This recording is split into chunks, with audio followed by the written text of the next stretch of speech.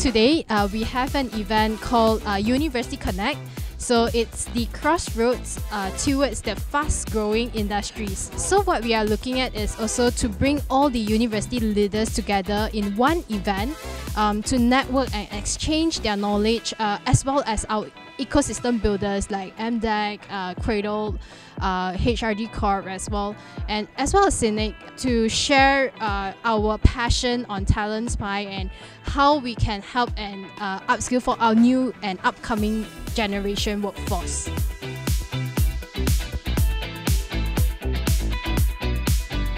One of the things I was looking at is to have university to exchange their ideas to improve the university syllabus to make it more real life as well as the uh, cater to the SME markets as well, uh, create a diversity um, in the industrial advisory uh, board that they have in the university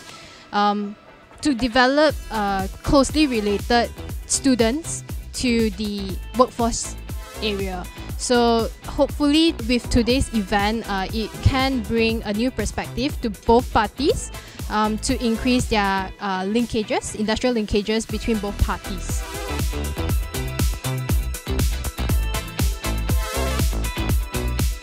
Yeah, so the turnout was really great and we really uh, happy to see this event uh, was successful and hopefully we get to do another one uh, in the next coming years.